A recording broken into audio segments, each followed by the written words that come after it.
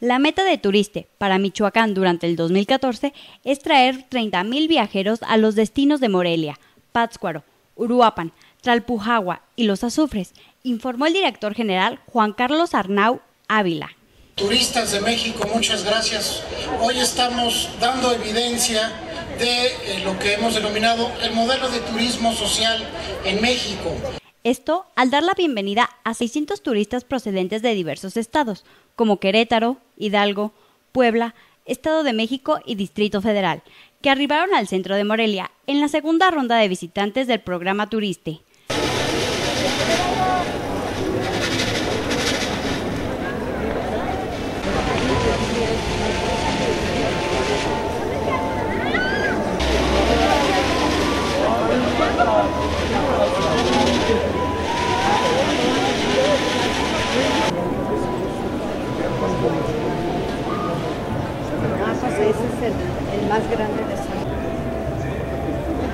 Los viajes turiste son una de las 150 acciones propuestas para Michoacán por el presidente Enrique Peña Nieto para reactivar la economía del Estado. Iniciativa muy bien recibida por los pensionados y jubilados. Fue nuestro coordinador de Fobiste el que nos animó a venir y gracias a él estamos aquí.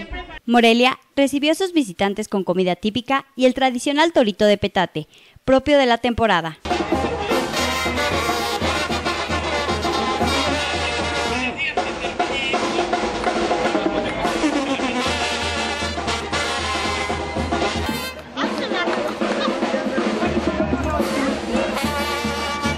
La riqueza arquitectónica del centro de Morelia y la hospitalidad de su gente cautivó a los visitantes y borró cualquier mala percepción. Ay, no, para nosotros no hay inseguridad.